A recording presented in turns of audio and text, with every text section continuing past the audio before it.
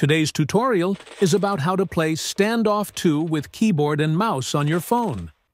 You can use any keyboard and mouse to get a CSGO-like experience. Let me demonstrate. Press the middle mouse button to hide mouse cursor. Press WASD to run. Hold Shift key to walk. Hold the 1 key to switch weapons. Hold the 2 key to switch to grenades. Press the B key to buy weapons, and the mouse cursor will appear. Press the Escape key to close the window and hide the mouse cursor. Hold the M key to open the map. Release the M key to restore. Additionally, if you encounter a stuck camera view, you can press the ALT key once to quickly reset it.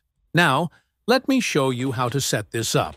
First, go to k2er.com to download and install K2er. You'll need to activate it on first use. Just follow the steps. It works on any Android system, including tablets. Get your input devices ready. All keyboards and mice work. If using Bluetooth devices, pair them in System Bluetooth settings. If using wired devices, you'll need a USB hub. Plug wired devices into the hub and connect the hub's USB-C cable to your phone. The hub needs to be powered. Use HDMI to TV if supported.